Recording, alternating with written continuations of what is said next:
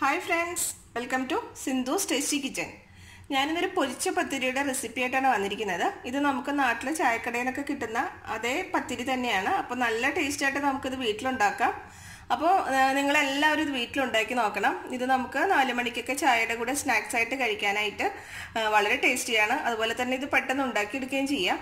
ഇത് അരിപ്പൊടി കൊണ്ടാണ് ഉണ്ടാക്കിയിരിക്കുന്നത്. അപ്പോൾ നിങ്ങളെല്ലാവരും ഇത് ഉണ്ടാക്കി നോക്കിയിട്ട് എന്നെ ഫീഡ്ബാക്ക് അറിയിക്കണം. അപ്പോൾ നമുക്കിത് എങ്ങനെയാണ് ഉണ്ടാക്കുന്നതെന്ന് നോക്കാം. നമുക്ക് എണ്ണപ്പത്തിരി എങ്ങനെ ഉണ്ടാക്കുന്നതെന്ന് നോക്കാം. അതിന് വേണ്ടിയിട്ട് ഞാനിവിടെ ഒരു കപ്പ് വറുത്ത അരിപ്പൊടിയാണ് എടുത്തിരിക്കുന്നത്. ഇത് നമ്മൾ കടയിൽ നിന്ന് വാങ്ങുന്ന പത്തിരിപ്പൊടി അല്ലെങ്കിൽ അപ്പം പൊടി തന്നെയാണ്. അത് ഞാൻ ഒന്നും കൂടി ഒന്ന് വറുത്തെടുത്തിട്ടുണ്ട്. അപ്പോൾ അത് ഒരു കപ്പ്. പിന്നെ വേണ്ടത് ആവശ്യത്തിന് ഇതുപോലെ കുറച്ച് മൈദ. പിന്നെ വേണ്ടത് ഇതുപോലെ ഒരു അഞ്ച് ആറ് ഉള്ളിയും പിന്നെ ഒരു സവാളയുടെ പകുതിയും കൂടി ഇതുപോലെ അരിഞ്ഞെടുത്തതാണ്. പിന്നെ നമുക്കൊരു അരക്കപ്പ് കപ്പ് തേങ്ങ. പിന്നെ അതിനകത്തേക്ക് ഇതുപോലെ ഒരു പിഞ്ച് ചെറിയ ജീരകവും ഒരു പിഞ്ച് വലിയ ജീരകം പെരുംജീരകം ഉണ്ടല്ലോ അതും. അതുകൂടി നമുക്കൊരു മിക്സിയുടെ ജാറിൽ ഇതുപോലെ തേങ്ങയും ഉള്ളിയും ജീരകവും കൂടി ചെറുതായിട്ടൊന്ന് അടിച്ചെടുക്കാം. അധികം അരയണ്ട. ഒന്ന് കറക്കിയെടുത്താൽ മതി.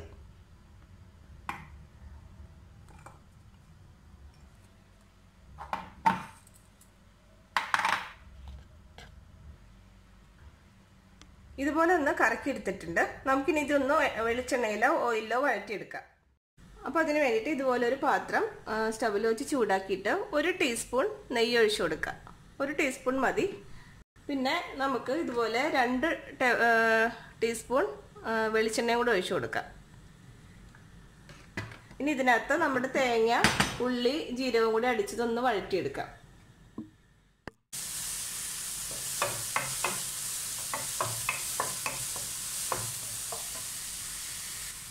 ഇപ്പൊ നമ്മുടെ തേങ്ങ നന്നായിട്ട് വഴന്നു വന്നിട്ടുണ്ട്. നമുക്ക് ഇതിനകത്തേക്ക് ഒരു ഒന്നര കപ്പ് വെള്ളം ഒഴിച്ചു കൊടുക്കാം.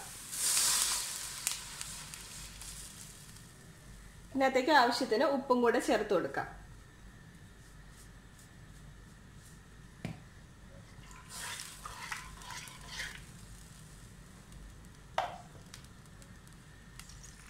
ഒരു നുള്ള് പഞ്ചസാര കൂടി ഇടുന്നുണ്ട്. ഒരു നുള്ള് മതി. ഇപ്പം നമ്മുടെ വെള്ളം നന്നായിട്ട് തിളച്ചിട്ടുണ്ട്. ഈ സമയത്ത് നമുക്ക് പൊടി കുറേശ്ശെ ചേർത്ത് കൊടുത്ത് നന്നായിട്ട് ഇളക്കി യോജിപ്പിക്കാം. ആട്ടിയെടുത്ത അരിപ്പൊടിയുടെ ചൂട് കുറച്ചൊന്ന് കുറഞ്ഞിട്ടുണ്ട്. നമുക്കിതൊന്ന് നന്നായിട്ട് കുഴച്ചെടുക്കാം. അതിന് അതിന് വേണ്ടിയിട്ട് ഇതിലേക്ക് ഞാൻ കുറച്ച് മൈദപ്പൊടിയും കൂടെ ചേർത്ത് കൊടുക്കുന്നുണ്ട്. എന്നിട്ട് എല്ലാം കൂടെ ചേർത്ത് നന്നായിട്ടൊന്ന് മിക്സ് ചെയ്ത് ഇതുപോലെ ഒരു ടേബിൾ ടോപ്പിൽ എന്തെങ്കിലും ഇട്ടിട്ട് മിക്സ് ചെയ്തെടുത്താൽ മതി. അപ്പോൾ നമുക്ക് കുഴച്ചെടുക്കാൻ നല്ല എളുപ്പമായിരിക്കും. അതുപോലെ തന്നെ പരത്തിയെടുക്കാനും. അപ്പോൾ ഇത് ഇതുപോലെ നന്നായിട്ട് കുഴച്ചെടുത്തിട്ടുണ്ട്. നമുക്കിതിനി ഈ ടേബിൾ ടോപ്പിലേക്ക് വെച്ചിട്ട് ഒന്ന് പരത്തിയെടുക്കാം. വേണമെങ്കിൽ പകുതി മാറ്റി വെച്ചിട്ട് പകുതി പരത്തിയെടുക്കാം. അപ്പോൾ സൗകര്യത്തിന് വേണ്ടിയിട്ട്. എന്തെങ്കിലും മൈദപ്പൊടിയോ അരിപ്പൊടിയോ അടിയിൽ ഇട്ട് കൊടുത്തിട്ട് ഒന്ന് പരത്തിയെടുക്കാം. ഞാൻ ഈ വെന്ത അരിപ്പൊടിയിലേക്ക് ഒരു കാൽ കപ്പ് അതായത് ഒരു നാല് മൂന്ന് നാല് ടേബിൾ സ്പൂൺ മൈദ ചേർത്തിട്ടുണ്ട്. ഇത് കൈ കൊണ്ടൊന്ന് ഇങ്ങനെ ആക്കിയിട്ട് നമുക്കൊന്ന് പരത്തി കൊടുക്കാം. പിന്നെ ഇതുപോലെ ഒരു ചപ്പാത്തി കോൽ വെച്ചിട്ട് പരത്തി കൊടുക്കാം. അധികം കട്ടി കുറയ്ക്കണ്ട. അത്യാവശ്യം പത്തിരിയുടെ കനത്തിൽ ആക്കിയിട്ട് ഇതുപോലെ ഒരു പാത്രം അല്ലെങ്കിൽ ഗ്ലാസ്സോ വെച്ചിട്ട് നമുക്ക് ഇതിങ്ങനെ റൗണ്ടിൽ കട്ട് ചെയ്തെടുക്കാം.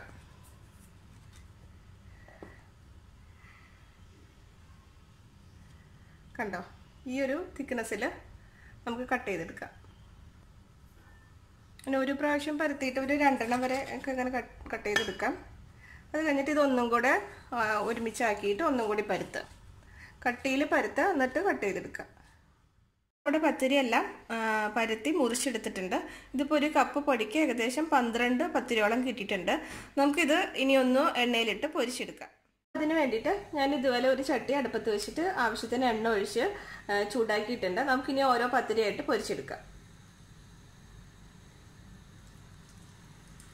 നിങ്ങൾക്ക് വേണമെങ്കിൽ വലിയ പാൻ വെച്ചിട്ട് ഒന്നിച്ചും ഒന്നിച്ചും ഉണ്ടാക്കിയെടുക്കാം കേട്ടോ. നാലും അഞ്ചും വെച്ചിട്ടൊക്കെ. ഞാനിപ്പോൾ ഇത് നന്നായി മുക്കി പൊരിച്ചാലേ ഇത് നല്ല പെർഫെക്റ്റ് ആയിട്ട് പൊന്തി വരുള്ളൂ. അപ്പോൾ അത് അതിന് വേണ്ടിയിട്ട് ഞാനിങ്ങനെ ചെറിയ ചട്ടിയിൽ ഉണ്ടാക്കുന്നത്.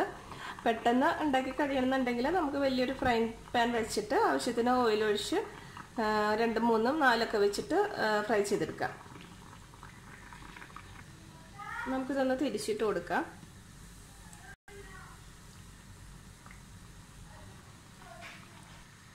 ഇപ്പോൾ പത്തിരി ആവശ്യത്തിന് നല്ലൊരു ഗോൾഡൻ കളറിൽ വന്നിട്ടുണ്ട്. നമുക്കിതൊരു പാത്രത്തിലേക്ക് മാറ്റാം. ഇതുപോലെ നമുക്ക് ഓരോന്നായിട്ട് പൊരിച്ചെടുക്കാം.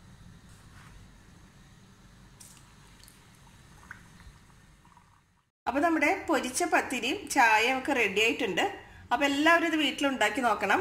നാല് മണിക്കൊക്കെ നമുക്ക് ചായയുടെ കൂടെ കഴിക്കാൻ വളരെ ടേസ്റ്റിയാണ് അപ്പോൾ എല്ലാവരും ഉണ്ടാക്കിയിട്ട് എന്നെ ഫീഡ്ബാക്ക് അറിയിക്കണം.